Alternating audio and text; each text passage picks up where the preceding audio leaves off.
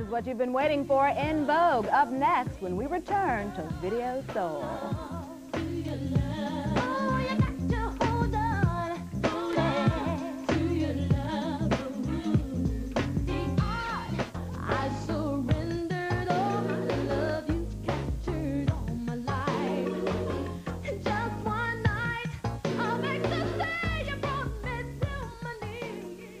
My guests today make up one of the hottest debut acts on the music scene. And with their a cappella harmony, it's easy to see that these girls can sing and they're gorgeous too. Please help me welcome En Vogue to Video Soul. Hey! Hi. How y'all doing? Fine, thank you. Oh, you even talk in harmony. It's wonderful. Listen, I know who you all are, but for our viewing audience, why don't we go ahead and introduce yourselves individually, and we'll start with you. Okay, I'm Cindy Herron. And I'm Maxine Jones. I'm Terry Ellis. And I'm Dawn Robinson. And this is En Vogue. now, I was reading your bio, and something that really struck me was the fact that people who sing so well together, perform so well together, you kind of get the feeling that, oh, they go back way, way back. They're childhood friends. They hung out, you know, on the playground together, played hopscotch. And actually, you all got together just about a year and a half ago, mm-hmm. but coincidentally, a lot of you in the group had met other members way, way back when. So who, who wants to elect, be elected as uh, telling the En Vogue story from the beginning? Well, I'll tell you how. okay, nobody's talking to us. Here you go. I'll tell you uh, how Terry and I and Max met. Okay. I met Terry a few years back in Texas when we both have a mutual friend, Gary Reeves, who took me to Texas to audition for her group. And um, also, I met Maxine when she and I did a theater production in San Francisco called Green Christmas. -hmm. And I never knew that I'd be working with either, either of them later. And then all of a sudden, a couple years later. Now, I know also Dawn, Dawn. somebody met in, wait, the beauty shop? Yeah. The getting beauty that, shop. Dawn and Maxine in the beauty shop, getting their heads busted. Yeah. Tell me what happened. Who wants to do that? Well, I walked in and I was getting my hair done. Mm -hmm. And um, a friend of both of ours, the guy that was doing my hair and the guy that works with Maxine, used to work with Maxine, uh, introduced us kind of like, um, she sings, yeah, Stevon. Uh, she sings and she sings, so why don't you guys sing something together? But I never got her name, you know, and it oh, was just, kidding. yeah. We just sat down and did a little thing together, and we were nervous, and it was like, okay, bye, you know.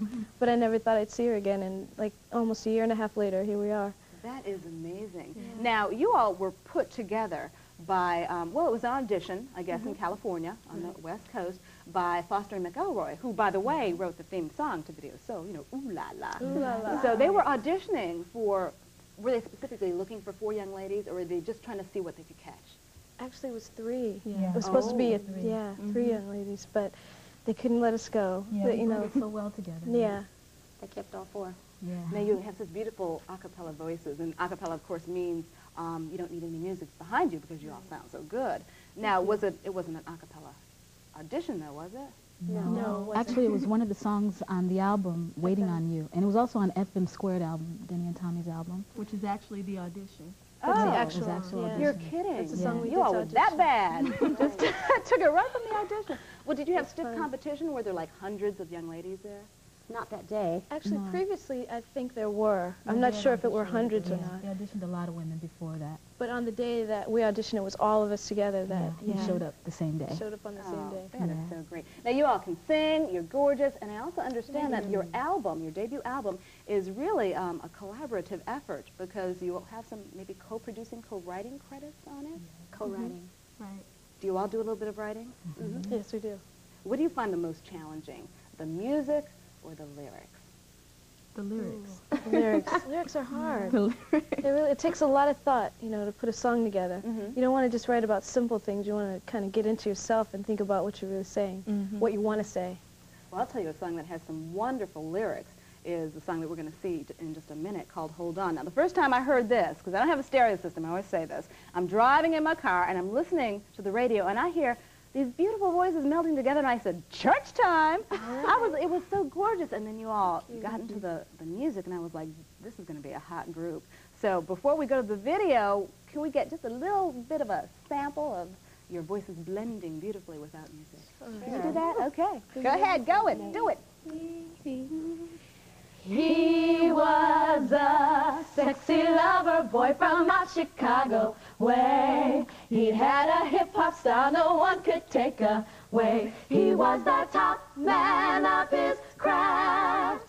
But then his number came up and he was gone with the draft. He's in the army now, a rapping revelry. He's the boogie woogie hip hop boy of Company B. much. And with that, what other introduction, uh, introduction do we need? How about some En Vogue? Hold on, right here.